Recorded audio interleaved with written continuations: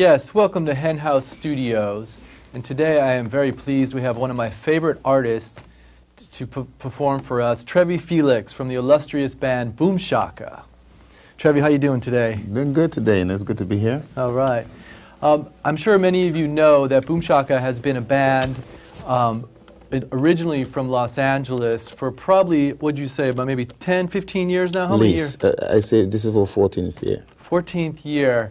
Um, I, on a personal note, when I first moved to Los Angeles, this is one of the main influence for me mus- musically. I happen to be a big fan of reggae music. So I'd like to start the show off by Trevy. Uh, Why don't you explain a little bit to us um, how Boom Shaka was formed and when it was formed and, and the, the very beginnings of the band? I mean, it was basically formed in Los Angeles, you know, and there are five core members in the band.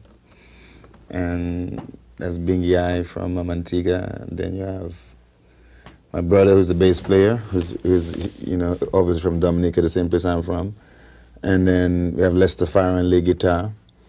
And and on drums we have Shaka Man, you know, from Jamaica. So you know, so but that's the nature of that's the whole energy of being in the city. You know, you tend to a lot people from a lot of different places come to a city. So we kind of met in the city and kind of begin the whole thing from there. Yeah, Los Angeles is great, great for that. It's a meeting ground. Yes. Um, many of you don't probably don't know, but Boom Shaka may be based in Los Angeles, but they are an internationally renowned band. They've played in Brazil, Europe, Africa. Actually, they just came back from Ethiopia. Right. And you performed for how many people? Well, we were down there for the for the Battle of Adwa celebration, and we performed in Meskel Square, and we had thirty thousand people at the show. You know, it was in celebration of like um, it was the Fourth of July, kind of Ethiopian Fourth of July, or like it's in the simple terms, you know, because that they were celebrating the defeat of like the Italian armies when they came to conquer Ethiopia. Oh, right, right. So this was a whole celebration of that day and that vibe, you know. So it was a good, it was a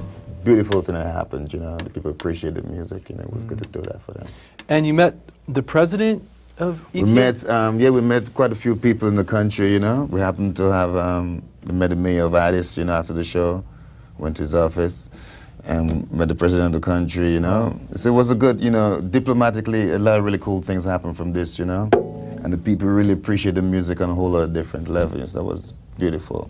Wow. And it will be like a thing, I think, where we'll be going back again, you know. It's like a, it's, this won't be just like a place where we just want to do a gig. It's going to be a different thing. Hmm. When you go play in, in places like this, I know like you, you've been to Switzerland and other countries, you end up doing a lot of main television shows, primetime TV shows, performing, and, and which is something I don't think that happens here in the United States as much. They don't really provide that platform from reggae music. Why do you think the rest of the world, Africa and Europe, are so open to reggae music and giving you some prime time? Well, um, I think probably the different business things running running happen in America, which I don't really can't really explain to you exactly what it is, you know. But um, it's almost like a simple thing also too, like you never really appreciate it in the community that you come from almost too, you know. It's almost an energy like that, you know. So but the music when we when we created the music it was for the whole world it was not just for the for to happen in los angeles you know so we, we found that you know people from other parts of the world have really held onto the sound and appreciate what we would do what we're doing what we continue to do you know? Mm. So that's a good outlet. And that was the whole vibe and energy from the beginning to, to be able to do that you know what i mean? So we were not just like concentrated on busting inside Los, Ange- Los Angeles, you know. That the music, the things, the themes we were talking, the music would represent the whole planet, not just us and our local environment, what we're dealing with, you know. So ho- hopefully that's happening. Another thing about this band that you might not know, know, not only do they tour constantly and play all around the world, they also are an incredibly accomplished recording band. They have four albums out to date. The first one being Creation, then Freedom Now, Yes, then Best Defenses. Best Defenses, and, and then Re- Lion. Rebel Lion. Those four records, and just finished another record. Have you titled this record yet? And the working title is Fertile Ground, you know. Fertile Ground. Fertile Great Ground, name. you know, and um, this is the working title for the record. Hopefully we're going to drop this record this summer. Mm-hmm. We have some really great songs on the record, you know. We redid it like um, an acoustic version of Creation. We have songs like from um, a U2 song, Bloody Rebel, Bloody Sunday, you know, we call it Rebel Sunday. We have songs like Ganja Discrimination, and Rastafari is the future, you know. So we know th- there's things that the people who've been following the band, who love the band, going to really represent and love, man. It's a great album.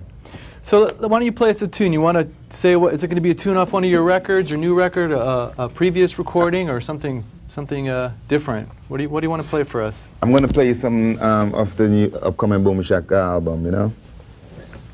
This is one, this is, this one's for all the boys and girls. This one is called Ganja Discrimination. Yeah.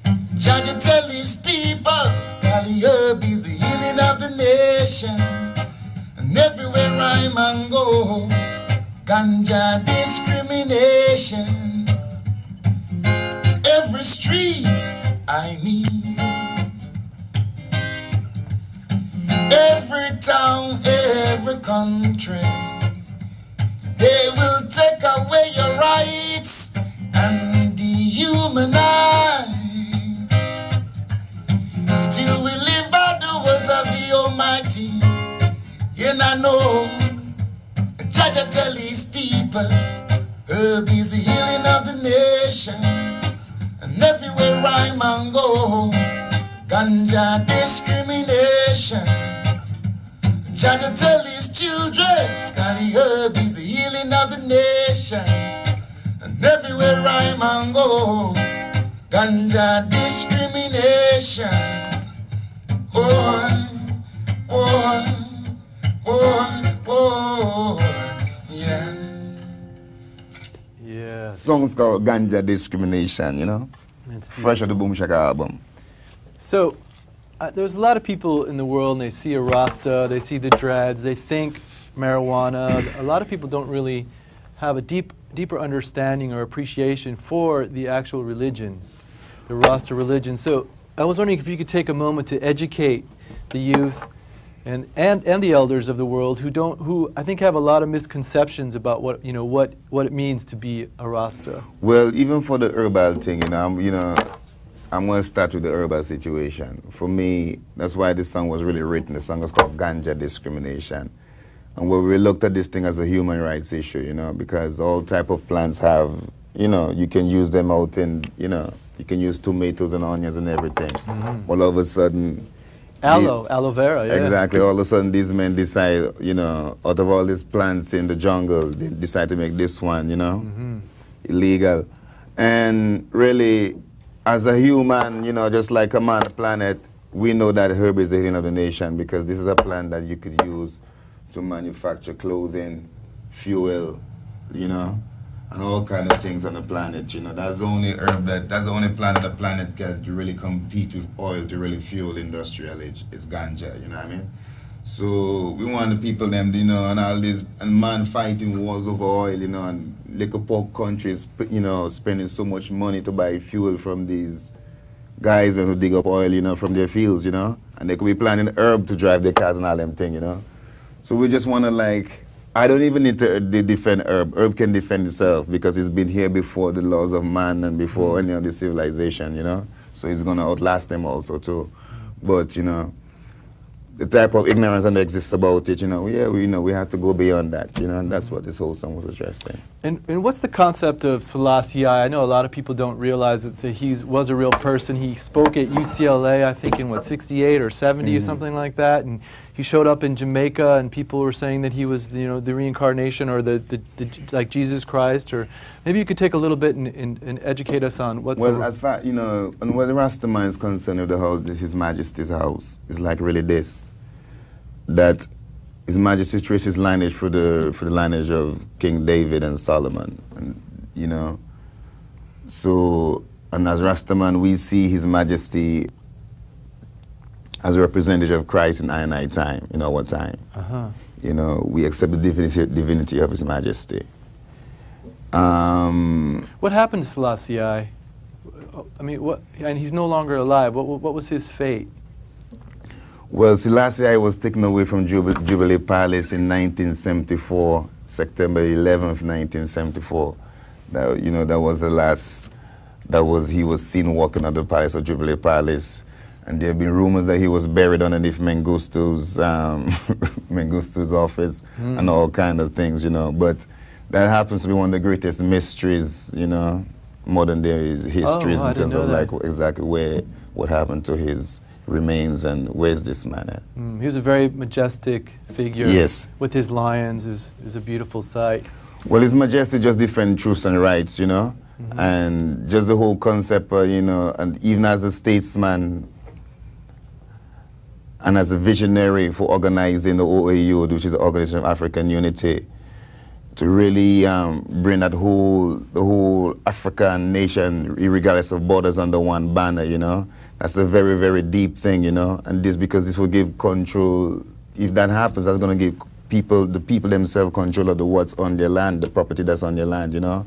So those things those things has to be presented to even nobody really presented a, such a plan to the African people and he was like really instrumental even living a visionary for something like that too and he, and really addressing and putting pressure and even the boys in South Africa when they had North Africans in all kinds of human bondage, you know, really being able to defend the man them intellectual and spiritual level also too, mm-hmm. you know. So we have a lot of things. Not only Rastaman need to thank His Majesty for the type of works he did, you know, it's the whole the whole Western world. You know what I mean? That's great. Okay, well, I'd like to set up this clip. We shot a clip uh, at H- Hen House Studios with Trevy from Boom Shaka. I, wish, I, I we actually shot it in the studio and outside the studio, and it'll, you'll get a deeper understanding about this great, internationally renowned, very well-known reggae band, Boom Shaka. You guys ready in there? John, you ready to run our clip? We got you covered. Okay, let's run Yeah. Let's do it. All right. Boom Shaka. Greetings. I am Trevy Felix, representing the whole Boom Shaka enterprise and gentlemen and such and such, you know. You have um, Lester Farai, who's on lead guitar. I think he just brings like a really amazing sound to the band, you know in terms of his experience, you know, and his just his knowledge of like, you know, just soul music, African music, you know. And I feel like he just brings like a really crucial element to the band. It really makes a lot of things musical that we do a little more legit, you know. And you have my brother Basie, who plays the bass, call him Ray Felix, you know. But then again, he was the one who really taught me how to play. He taught me, he, he taught me how to play an instrument. He taught me how to play guitar. You know what I mean? This road is long, long, long, long. So and and right now we play music together, so that's a beautiful thing in itself. So man, there's so much things I could say about him. You know, I just enjoy playing with him. You know what I mean? I really enjoy playing with him. This road is so rocky. And Little George and Bingy I, they're the keyboard players. And Biggie is a, is a cat I've been playing for for years. You know. Don't you sit and watch. He's just instrumental in the whole song of the band, you know.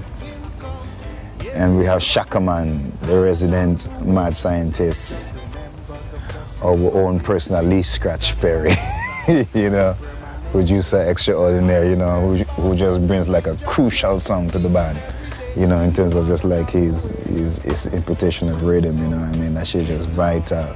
Hey, now come on, bass. I'm gonna roll it off. That's why. Okay, rolling.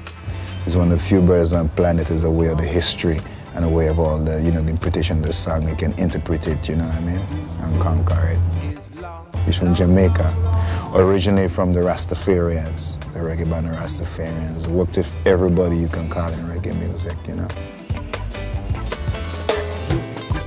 It's over 12 years. And we, we, within that time, we put together four albums we pretty much earn our living from like touring and playing live, you know? And even that's on the edge, you know? But basically over the years, what we've really supported ourselves was playing live music, you know what I mean?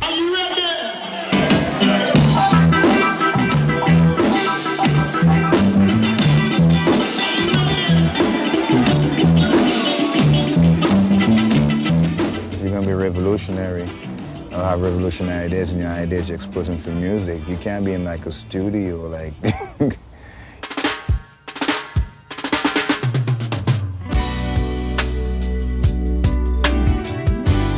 I like to record, but I also like to like actually go and be able to play them songs for those people live, you know.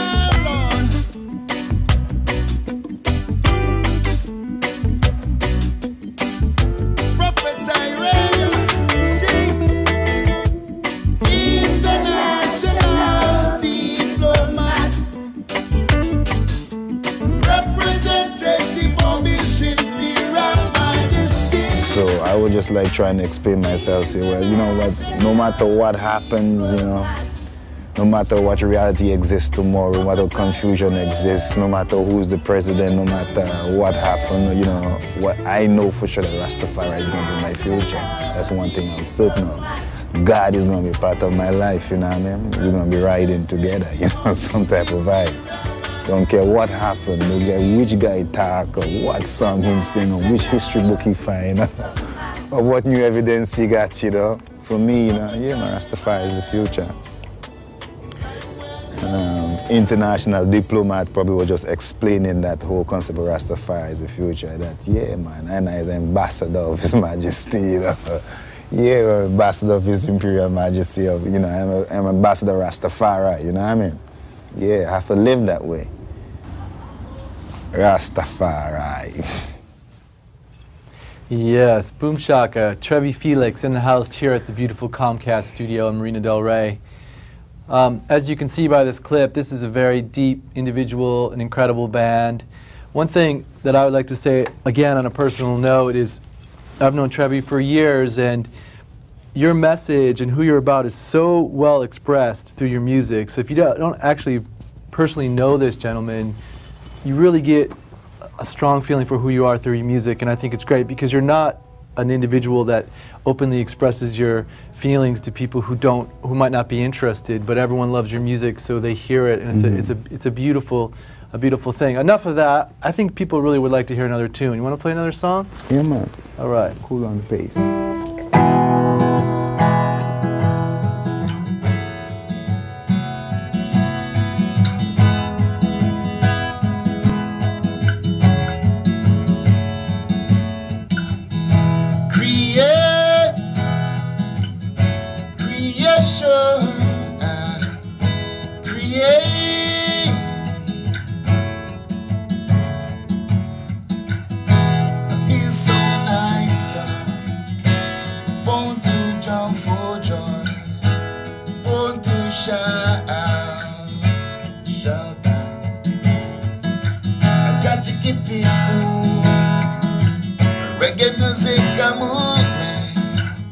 Yes, I have seen.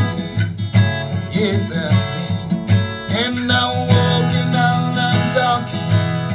I'm thinking to myself. Yes, I know there's a creator. Him mm, so dread. I'm a loving, I'm a person. Oh, Jah never lets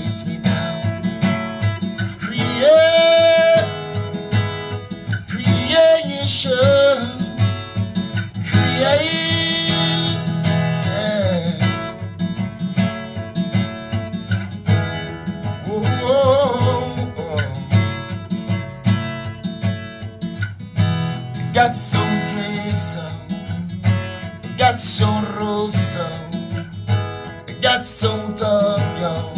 Don't even want to depass, so. Think of reasons we should persist. Yeah.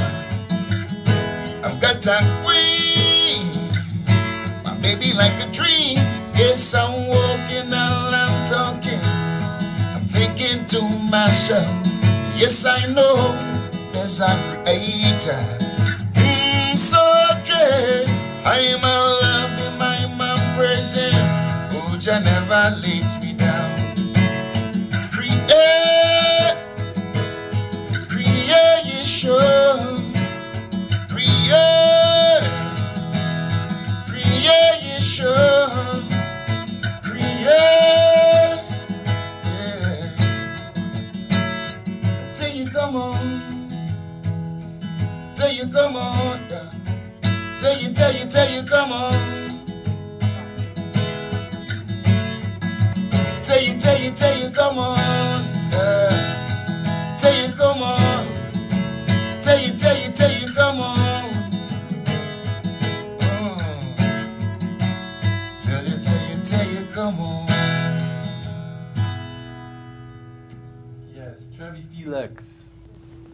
Shaka.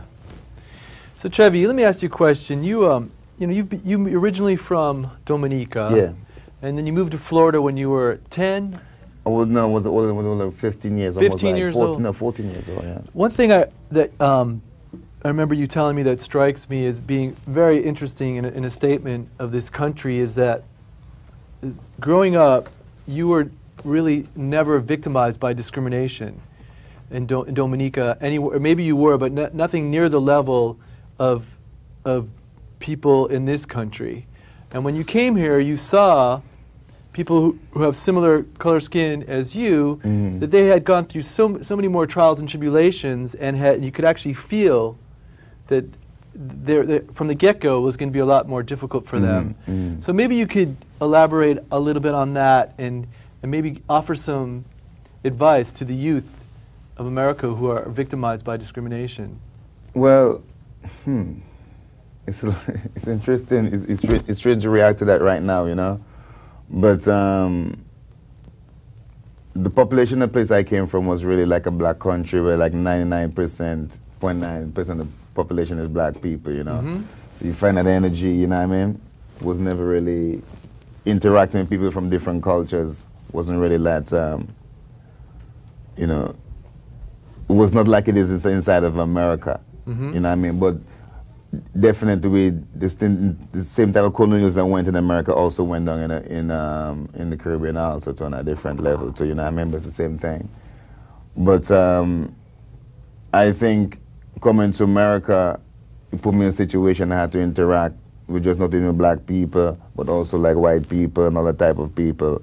And America itself was going through that transition, it's still going through that transition Right. of people learning to respect the people, each other, regardless of the color of their skin, you know, all them things there, you know what I mean? Mhm. And there's a, in some people's eyes, you know, even we inside the Caribbean, people sometimes even go as far as to say this is actually the ghettos of really of America. Some Uh-huh. People, some people say that.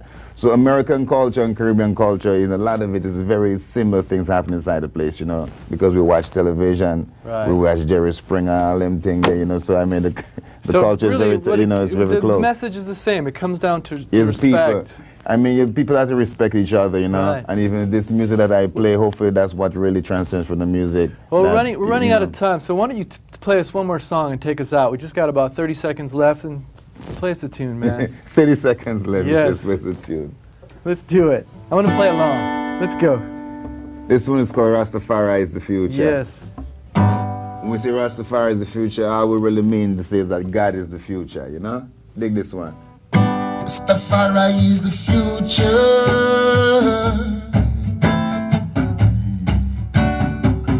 Rastafari is the future, children. Yeah, Rastafari is the future.